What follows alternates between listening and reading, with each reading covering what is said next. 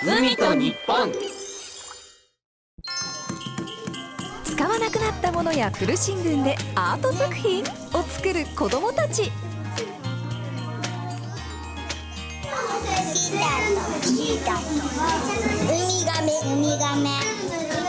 少し、えー、模様が強めのやつ。この作品が展示されるのはそごう広島店で開催されるサステナブルウィークス。広島県が企業とともに取り組む環境プロジェクトです。気軽におしゃれにそして楽しく続けられる取り組みそういうことにしたいというふうに考えております。ぜひご家族連れで来ていただきたいなというふうに考えています。期間中海について考えるきっかけとなる楽しいイベントを予定。さらにこの懸垂幕がおしゃれなバッグに。使用済みの口紅がクレヨンに生まれ変わった商品も販売。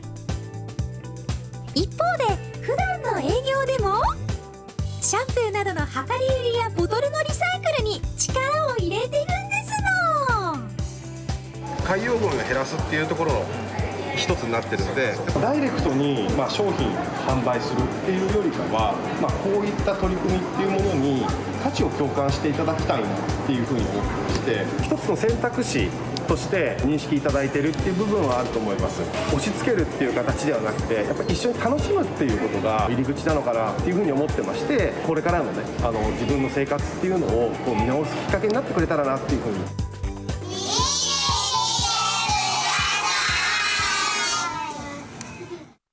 海と日本。海